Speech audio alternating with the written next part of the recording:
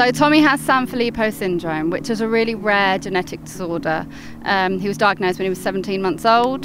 He was a really normal, happy lad. In fact, many years ago, he was a mascot here, running around going crazy on the pitch. Um, he did everything at a million miles an hour.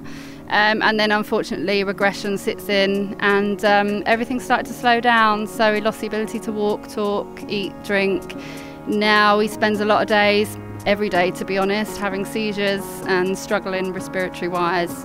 Um, and he is unfortunately at the end stage of his syndrome. So this today has been lovely and it's a memory forever and ever for our family.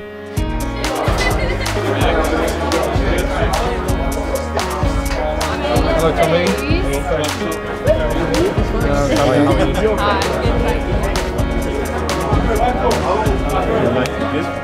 I've got five very happy children. We've come in, we've been treated to some food and hospitality. We've come to the dugout and met all of the players, pretty much, I think. Everyone's managed to uh, meet their heroes.